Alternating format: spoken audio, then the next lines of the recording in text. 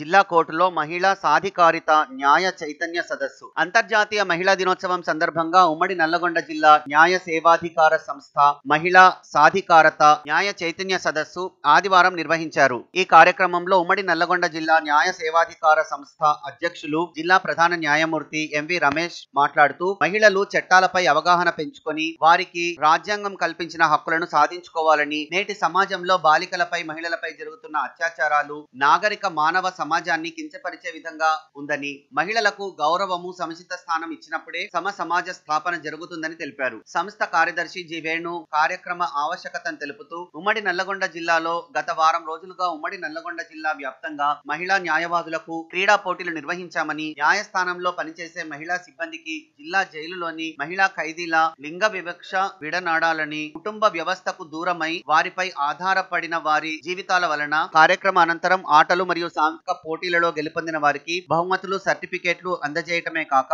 న్యాయ శాఖలో ప్రతిభావంతంగా విధులు నిర్వహించిన మహిళా ఉద్యోగులను సర్టిఫికెట్లను మరియు నల్లగొండ యూత్ పాజిటివ్ సొసైటీ వారు ఎయిడ్స్ బాధిత మహిళలకు ఉమ్మడి జిల్లా న్యాయ సేవాధికార సంస్థ అధ్యక్షులు మరియు జిల్లా ప్రధాన న్యాయమూర్తి ఎంవి రమేష్ మరియు ఇతర న్యాయమూర్తులు అందజేశారు. జిల్లా కేంద్రంలో పోటీల నిర్వహణలో ప్యానల్ న్యాయవాది ఎం. ప్రమీల సమన్వయకర్తగా సేవలు అందించి కార్యక్రమానికి వందన సమర్పణ చేశారు. ఈ కార్యక్రమంలో పోలీసు కళాజాత హెడ్ కానిస్టేబుల్ హుస్సేన్ మరియు బృందం పాల్గొని మహిళా చైతన్య గీతాలు ఆలపించి మహిళలను చైతన్యపరిచారు. ఇంటర్నేషనల్ ఉమెన్స్ డే సందర్భంగా ఎప్పట్లాగే ప్రతి సంవత్సరం జరుపుకున్నట్టుగా ఎయిత్ మార్చిన ఈ ఉత్సవం జరుపుకుంటున్నాము.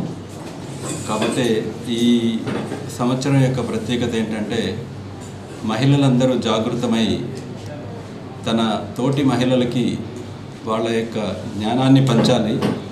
ఎక్కడైతే ఈ మూఢనమ్మకాలు అపనమ్మకాలు ఈ మూఢ భక్తులు వీటి వల్ల చాలా నేరాలు జరుగుతున్నాయి. చంటి పిల్లల్ని ఆడపిల్లల్ని చంపేస్తున్నారు.